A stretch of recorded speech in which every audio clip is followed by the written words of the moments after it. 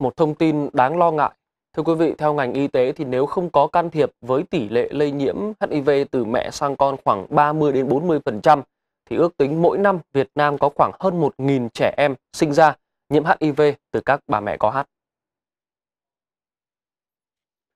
Theo đó, hàng năm Việt Nam có khoảng gần 2 triệu phụ nữ mang thai và ước tính tỷ lệ nhiễm HIV trong nhóm phụ nữ mang thai là 0,19%.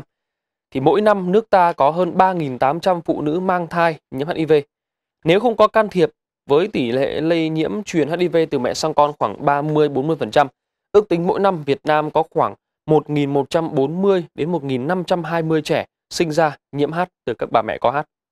Cũng theo thống kê của Tổ chức Y tế Thế giới thì Việt Nam cũng như nhiều quốc gia trong khu vực, dịch vụ dự phòng và kiểm soát HIVS vẫn đang được thực hiện chủ yếu thông qua hệ thống chương trình ngành dọc, thiếu sự phối hợp liên kết cần phải có giữa các hệ thống như là chăm sóc sức khỏe sinh sản, phòng chống HIVS.